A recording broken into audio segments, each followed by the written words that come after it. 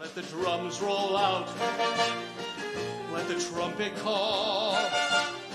While the people shout, strike up the band. Hear the cymbals ring, calling one and all to the martial swing. Strike up the band.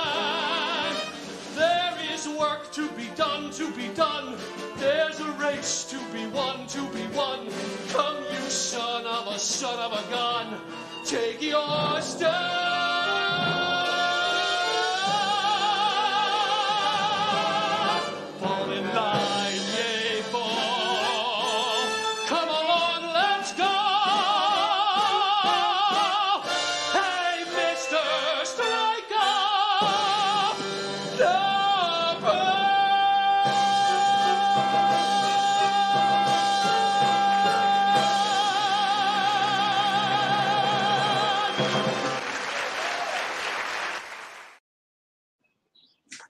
Hi there. I'm Dan McMahon, Director of Marketing for Goodspeed, and I miss Goodspeed shows so, so much, just like you. I saw the comment. Um, but we're here with Greatspeed. It gives us a chance to look back at some of the shows um, until we can do them again on our stage. Um, and what we just saw was uh, the song Strike Up the Band, one of the Gershwin's great hits, performed by Tony Yazbeck in our production of My One and Only. Um, you know, for those of you who watch regularly, you might um, notice that Donalyn Hilton is not here. She usually runs the show for us and is our our, our hostess. Um, she's taking some really well-deserved time off.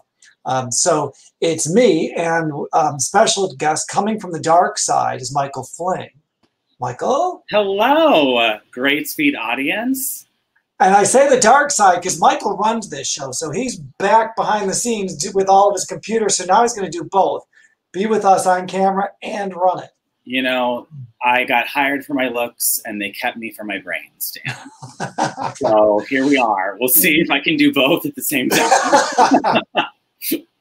um, but we are so happy that you all are here joining us today. Um, uh, I before we get started, we wanted to offer a heartfelt thank you to all of our members. You really are the lifeblood of Goodspeed, and we can't do what we do without you. Um, so we're so happy you're joining us tonight and that you continue um, to give and help. And we really are so grateful for all of that, especially over the past few months.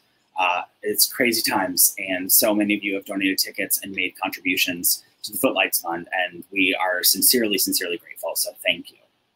We are. We do this for you and thank you. And, you know, if you have comments tonight, some of you have already seen it on the right side of your screen. Um, you can type them in there or you can text them to 860-638-7157. You see the number crawling right down below. I got the phone right here. It's right here, guys.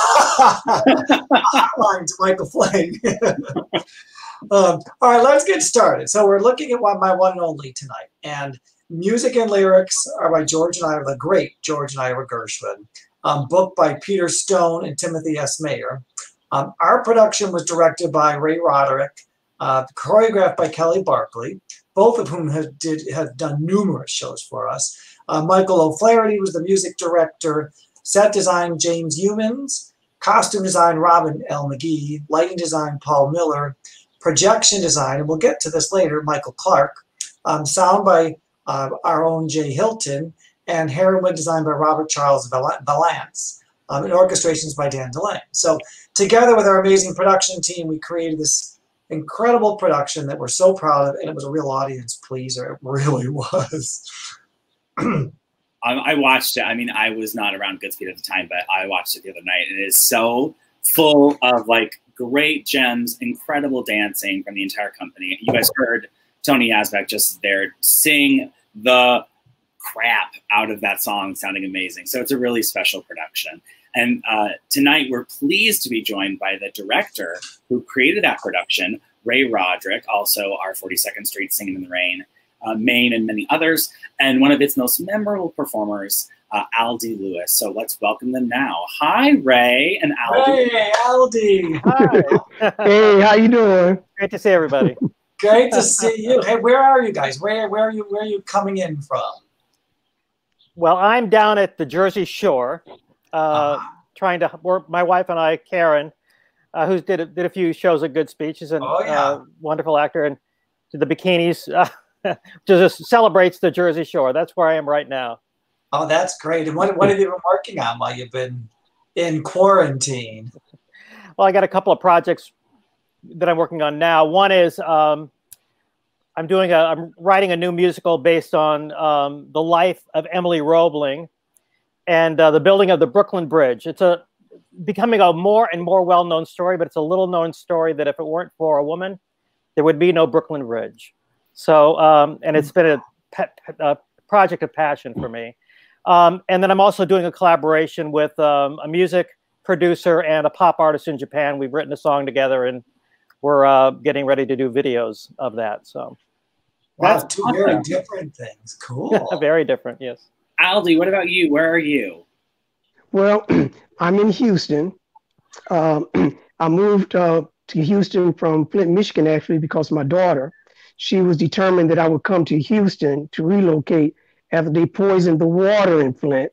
And so she Oh. said, you have to come here and that the art scene here uh, was, uh, was welcoming. So Oh. that's how I ended up in Houston. Um, and what it is that I'm doing specifically now is I've written a couple of scripts, uh, one specifically called We Too, uh, which is pretty much a biographical piece of me uh, being in New York, um, doing film in Broadway, and then uh, having my daughter born during the time that I was uh, actually doing uh, the film The Cotton Club. Um, and then um, from there, it, it, it really speaks on the, the different things that I did as a performer uh, in New York. And but primarily, the story is the uh, single father uh, raising um, a daughter and the trials and tribulations that they bring and the joys that they bring. And so it's really, uh, again, a bi- biographical story on um, not just uh, what I was doing, but the, the, the impact that a person has on their child um, from putting forth the, the right amount of effort and concern. Wow. with the- with the child. see Both all of these shows. And the word on the street is that it's pretty good. So Oh, yeah.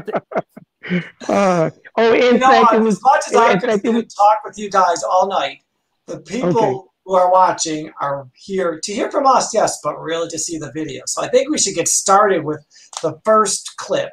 Um, you know, this show was one of those with a thin plot that really showcased the, the music and the dancing.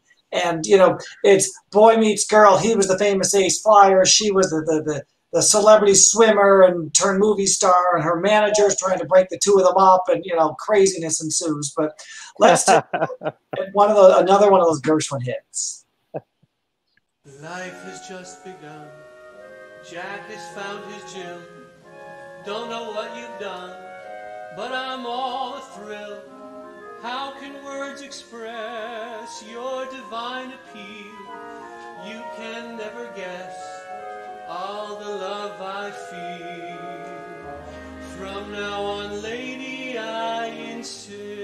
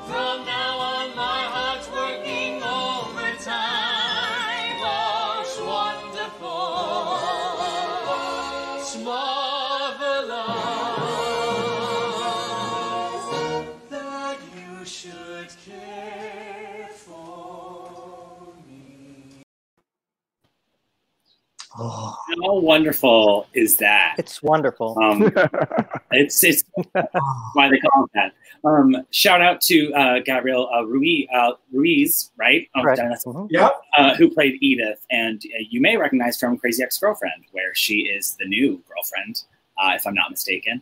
Uh, but Ray, first question to you: Why this show? What's so special about My One and Only? Why were you so drawn to it? Well, you know, to be honest, I inherited it. It was somebody else's project, and they got busy, and so good. I done a few shows for Goodspeed that were singing and dancing. You know, and Kelli and I'd worked together a ton, and um, Kelli Barclay, who choreography, by the way, is I think it's some of the best I've ever had on a stage, and thank God for. Uh, there's no. She's she's just when it comes to tap dance choreography or any choreography that matter, she always just nails it, and she did it with this show um, I was in Crazy for You, so I've got a connection with Gershwin from way back, and um, they said, "Hey, when the other director wasn't available, they said, "Hey, would you take a look at this?" And uh, I really kind of inherited it, and I thought, "Wow, um, you know, not expecting to do it. Um, I, you know, it was, you know, it was challenging because it was done in '84." And it was one concept that made sense in 1984, but we really had to take a look at it and say, hey, there's another way to do this, and uh, that's what we did. The great, by way, by the way, great design team. Yeah, we'll get to that. Um, we have we have questions about that, don't we, Dan? Oh, we sure do. Um, but there's obviously so much great dancing in the show, like you just mentioned, um, and there's so many. It's it was hard for us to go through and pick uh, just just Yeah. a few to showcase because they're all so. Like after we got through the clips at the end of our rehearsal today, I was like, "Oh wait, but we didn't get to do that one." Like I there's know so we wish we could show everyone the whole show again. We're not able to, but we it's like it's Just jam one it's just jam packed with one great number Yeah. after another and so my first experience with my one only, only was i think in previews on broadway i i went i did standing room because i was you know new to new york and we're all trying to save money and i saw it from the back of the house i think it was the st james am i right alde Yes, it was the St. James Theater. St. James, one of my favorite theaters. Um, and Alde was in it, you know, and I remember him.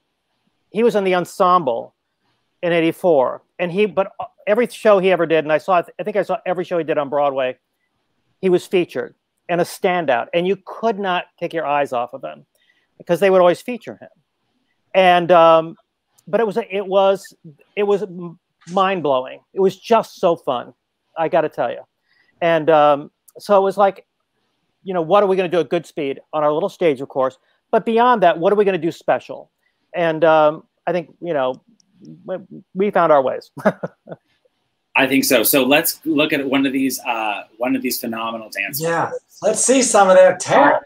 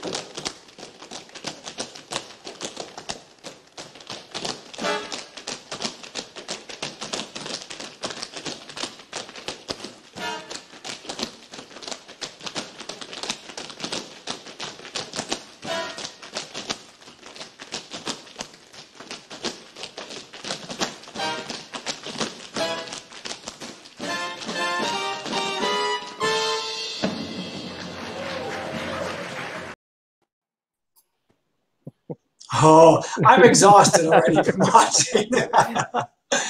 Ray, you know, I mean, Kelli did an amazing job, and I'm, I'm a big fan. And I, you know, you said you two worked together a lot. Like I, you had to collaborate a lot on this one, though, didn't you? Because I mean, the way the story's told is not like stop and go; it's through the whole thing. Well, you know, I decided to pick a vocabulary that was something that uh, Goodspeed hadn't done, and um, because it was about a film star from in the twenties, and uh, this, you know, local, this, you know, flying ace from uh, Texas, you know, let's make a musical.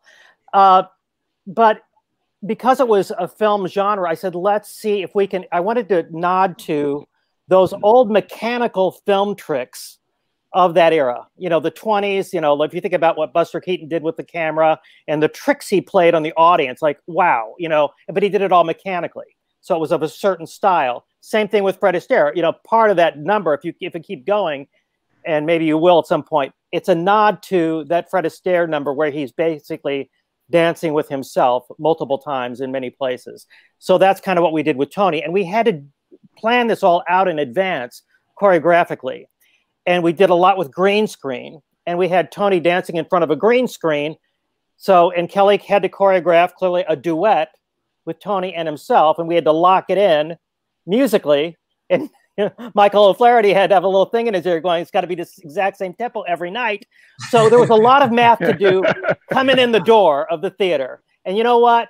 I got to tell you, everybody played so well together. And really, big hats off to you know Jim Youmans and um, Michael Clark because I, I, can't tell you how much everybody had to collaborate for that to line up. Oh yeah, but that was the fun of it, you know. I mean, and especially considering this was like early days when projection and all these things were kind of being like finally really like coalescing in theater. So it's you know, I get you got to say, you know, this yeah, they had never done this before. They never had a projector in the theater, to be honest. I and thought it, this was the first time. Yeah, they'd never had a projector, and they, you know, they were a little skeptical about it. But I got to say, you know, I said, I think this is the vocabulary we want, we want to be in visually for the show, and there's so many fun things we can do and solve that they had to do, like in '84. You know, they're they're flying planes in mm-hmm. and stuff. We can't do that, so we had our solutions for that. It was all theatrical projection tricks in a way. But you know, I got to say, they were skeptical a little bit at first, but then they were all in. And I give Michael Price some credit for that. He goes, We're not going to rent a projector, we're going to buy it. I think that's what he said. We're, if we're doing this, we're doing it. I, I mean, believe that. I, I just was like, Okay, here we go. You know, yeah. but that was Goodspeed, And God bless him because, you know, we created something in a way that it had never been done before. You know, this should have been done a lot, but it's never been done like this. And we were very proud of it. And it was awfully fun for everybody. I mean, look at those dancers and what Kelli did with those dancers. You know, it was such a beautiful collaboration and a joyous collaboration across yeah. the board. So, Alde, talk about like going from being in the ensemble of the original Broadway show to then a completely reconceived version of that at Goodspeed, going from the St. James, which is huge, to Goodspeed, which is small. What was that like for you, being like in the knowing the ensemble stuff from 1984, but then doing a completely different role in this production? Well, uh, because it was 1984, and and I think we did this what in uh, what uh, 2011 was that yeah. 2011? Yes. Okay, um, I had forgotten all the choreography uh, though in my mind I could see uh, you know visions of the the uh, directions of the movement, but not the choreography itself. So th- just the fact that the way that they approached uh, everything was so different, it was refreshing. Uh, it was as, as, if it was a, a, totally different and new show to me. So I approached it in that manner. Uh, I enjoyed um, what we had done before but I really also really enjoyed what they brought to the table on this particular version. So uh, that's pretty much, you know. But in terms of the rest of the production, uh, well, I guess we'll get into uh, certain things later on. But for right now, that's pretty much what I'll say on that. Good. Yeah, that's great. And we talked about, I mean, Ray, you provided the perfect transition to our next clip and talking about the projections and all these things.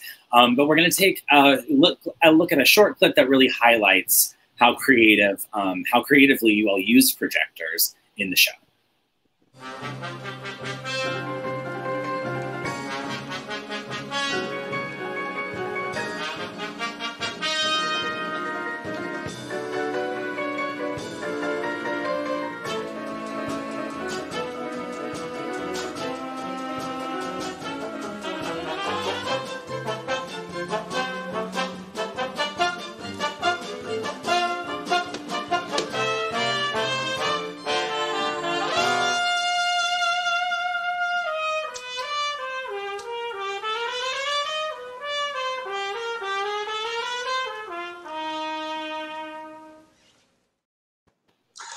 Will never forget those women faces in the bubbles. That just I just loved that when I first saw it. Very Busby Berkeley. Yeah. So, speaking of Busby Berkeley, like uh, you know these big production numbers, obviously that he's so famous for, is that part of what inspired kind of the unit set that then could then have all these things projected on it? And you, we go from location to location. You're basically a big, it's a big sound stage. Yeah, The whole thing's a big sound stage. You remember the in the old days they project the, you know, you could be driving a car and they'd be projecting the scenery behind as if they're driving and their hair's not blowing or anything. But you know, it really is that vocabulary. It's that simple. You nailed it. It's Busby Berkeley and all those guys who let's make something out of nothing. and All right, now. yeah. Oh, go ahead. no, you go, you go, Dan. You go. I'm, I'm sorry. I'm really anxious to see this. Alde, the uh, Alde, the next clip um, showcases you your brilliant dancing. Um, but you weren't always a tap dancer, were you? I, I, I believe the great Honey Coles had something to do with this. Uh, actually, he did. Um, when I came to New York, I came to New York with the idea of becoming a modern dancer. And so I was um, uh, taking classes and preparing for that. Um, but I was staying with a, a family of a family, my relative's family uh, that lived in New York. And it was there that one of them didn't know exactly what it meant to say that you were here to be a professional dancer. And he said, Well, have you ever gone to the Apollo? Have you heard of the Apollo? And if you think you can dance, like you say that you're here for, uh, they have a competition there and they'll probably boo you off the stage. and so, I, and so as a dare, so as a dare, I decided to go up there and see if I could get on the uh, on the stage uh, for Wednesday night. So I did. I went up there and the, the guy looked at me and normally it usually take two weeks to do certain things and then they'll call you and all, you know, just a whole uh, protocol behind getting on the stage. And but evidently I must have stated myself in a certain way that he looked at me and said, he said, so what do you do? And he's a stage-hand. He said, so what do you do? I said, well, I dance. He said, you dance? Uh, what kind of dance? I said, well, any kind of dance, any kind of. He said, I tell you what, if you think you can really dance, then come back here next Wednesday, be here by six o'clock, and I'll get you on. So I did. I I um I performed it uh, for the uh, amateur night at the Apollo, and uh, and I ended up winning that evening the show. And this guy who I did not know, uh, uh, he was the host, and he came up to me and gave me this great big hug, as if he was my father. And he said, "You know, if you could tap with what you already have naturally." there'll be nothing that could stop you. And the reason why he said that was because he said, I hear things. He could tell in the way that the syncopation of my body movement that allowed him to know I was hearing things in my ear that other people weren't able to uh, normally hear. And he said, if I could take what I'm hearing and put it into my feet, that there would be nothing in the world that could stop me. That person was Charles Honey Coles. Now, again, I didn't know who he was. And so I just took it with a you know grain of salt. I had won the Apollo, and that's all I was interested in. So I go home, um, I go home and I'm telling them how everything went. And then there's a place I was taking classes called Clark Center. And while at Clark Center, I would bring up that I had won the Apollos, amateur at the Apollo. And they said, and I said, you know, and then, you know, there was this guy, there was this older guy that said, um, see, his name was uh, Honey. I think he said Honey. And they looked at me and went, Honey. Yeah, he said, Honey, Honey Coles. Honey Coles? I said, yeah, this guy named Honey said that, and, and I got that about four or five times, the way exactly that way. At that time, there was, you know, no cell phones. And I said to myself, okay, if I'm getting this kind of response about this guy every time I bring up his name, I need to go to the library. So I went to the library and looked up this guy, and sure enough, I found out who he was in terms of being one of the greatest tap dancers that ever lived. And it was then that I decided I would get back in contact with him. And the fact that he had given me his number. He said, if you ever decide that this is something you might want to do, then get in contact with me. So I got in contact with him. Now we've got to see some tap dancing. I'll, okay. All Come right. on. An amazing story. An amazing story, and this clip just proves the genius. So okay.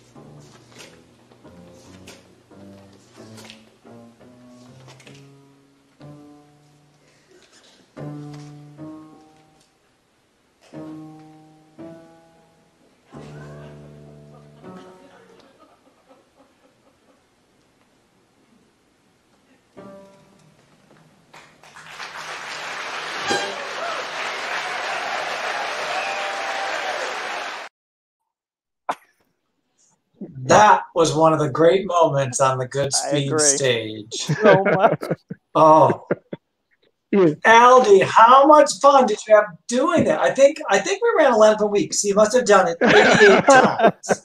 Enjoy and enjoyed every minute of it, especially since uh, Honi being my mentor and the role that I was playing was the role that he received the Tony Award for, and for me to re um, uh, revamped the role uh, was a pleasure.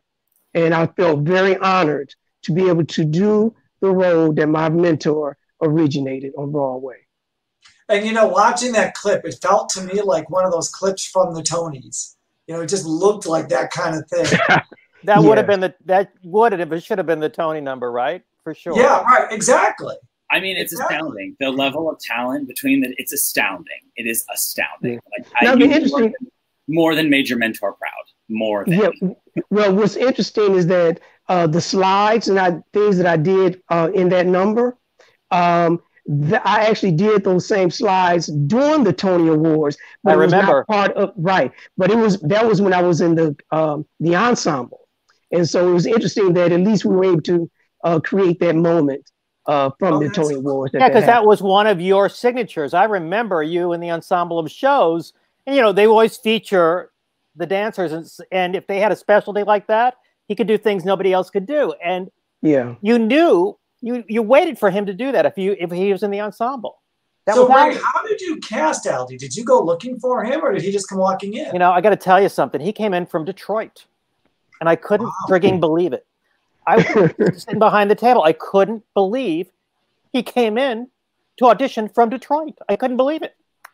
And that, Yeah, that was all, all I needed to see is him in the room. So We're done. I I had I had been away from New York for 24 years at that point. Wow. and I received a, a call from someone, uh, an, uh, the casting people, and they said that someone said that they knew where I was, Wow. and that if I would be willing to come to New York to audition for the role that they knew that Honi uh, was uh, my mentor. So they said, "Would you please come to New York to audition for the show? Please, please, please." And I said, "Sure, sure." Wow. And and at that point, I hadn't performed in 24 years. So um, when I got You there, did I just that? did my thing. you serious. did that after 24 years. Oh, you're amazing. 24, I had. Well, I'm don't wait 24 more, okay? No, I gotta say, I gotta say a little something, you know, about Alde.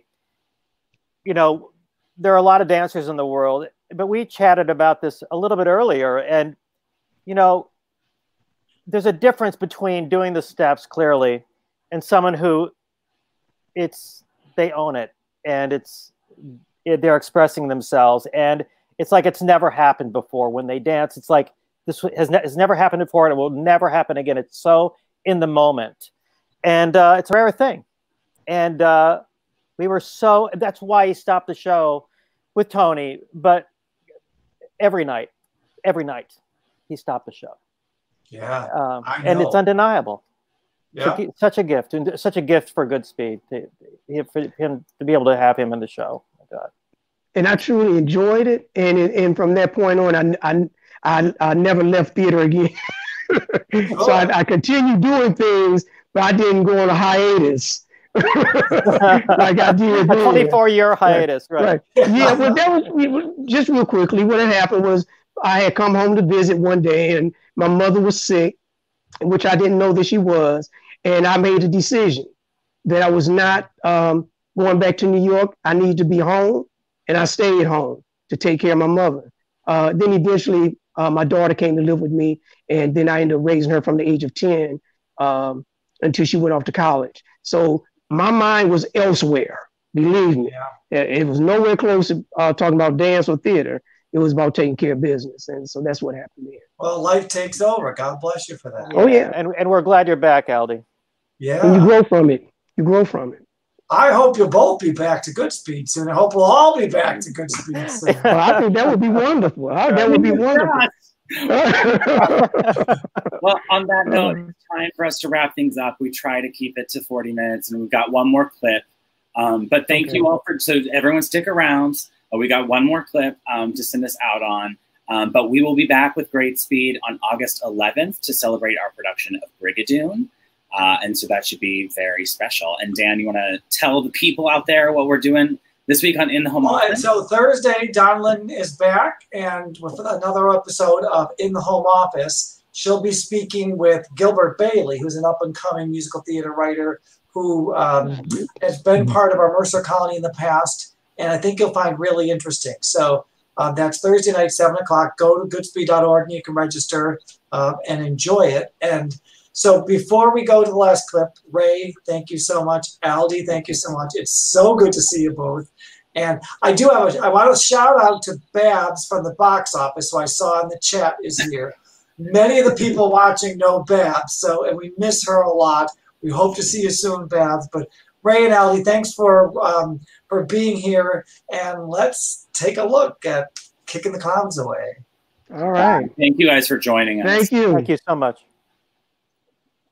Woo!